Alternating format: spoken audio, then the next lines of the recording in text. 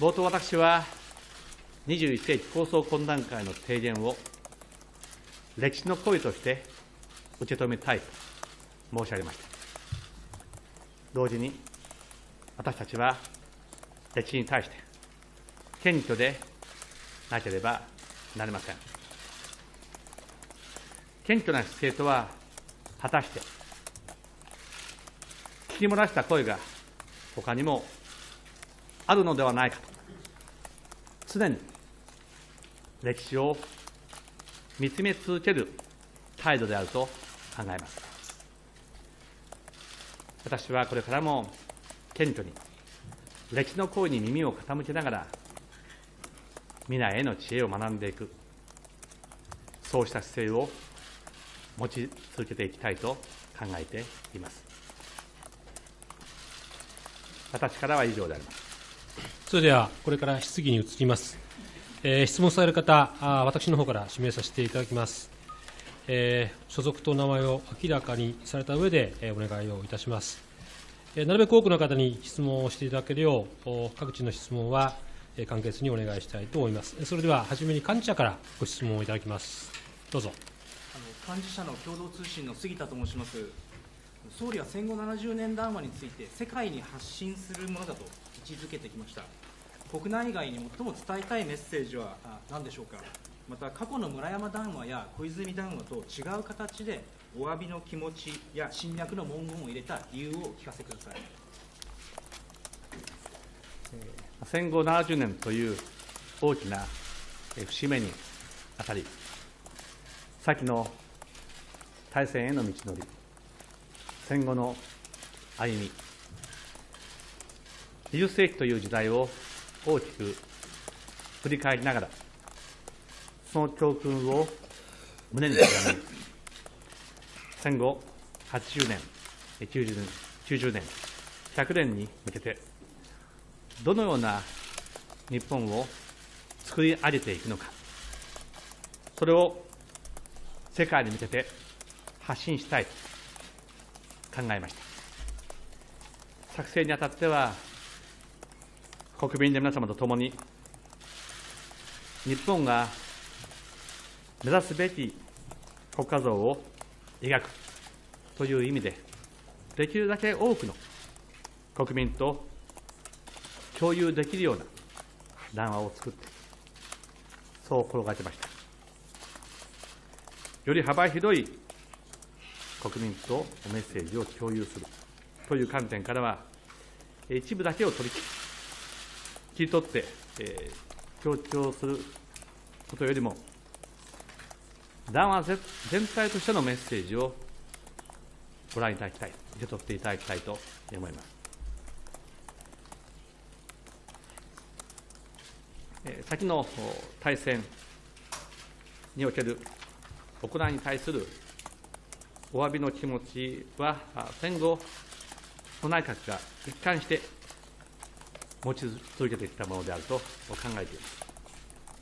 まあ、そうした気持ちが戦後50年においては、村山談話という形で表明され、さらに60年を機に出された小泉談話においても、そのお詫びの気持ちは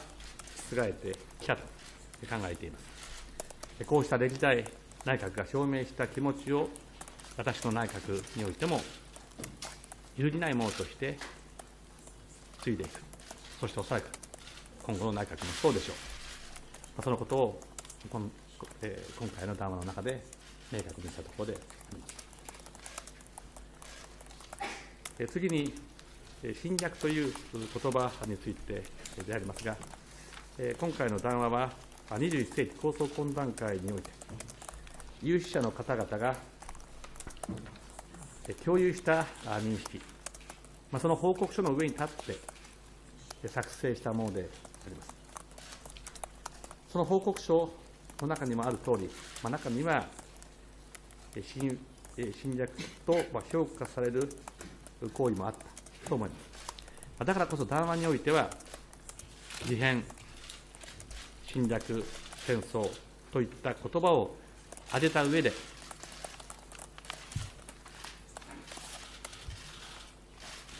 自演侵略戦争という言葉を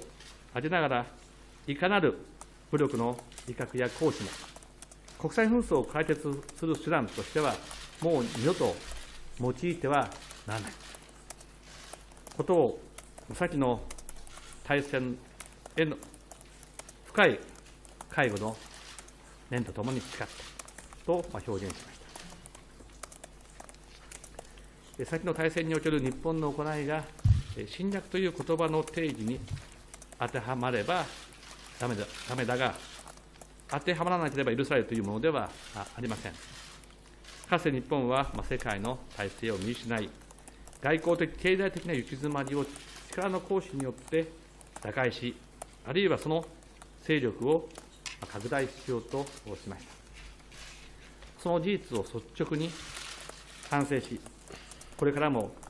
法の支配を尊重し、不戦の誓いを堅持していくということが、今回の談話の最も重要なメッセージであると考えています。その上で、具体的にどのような行為が侵略に当たるか否かについては、歴史家の理論に委ねるべきであると考えています。重要な点は、いかなる武力の威嚇や行使も、国際紛争を解決する手段としては、もう持ち、用いてはならないということであります。これが私たちが過去から学び、教訓とし、反省すべきことであると考えます。えー、それでは幹事社の方、もう一社、どうぞ。あの東京新聞の関口と申します。総理は2009年ですが、